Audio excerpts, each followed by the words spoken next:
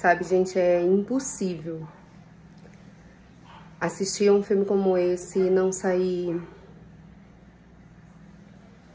inconformado, sabe? Sem, sem palavras, é, revoltado e indignado com a realidade e a maldade que existe nesse mundo.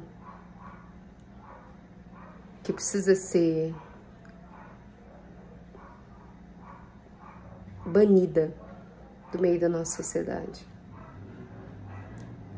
Protejam seus filhos, protejam as crianças. Não os exponham em redes sociais, em não deixem seus filhos sozinhos com pessoas que não seja você. Cuide, preserve a integridade deles. Eles só têm a gente.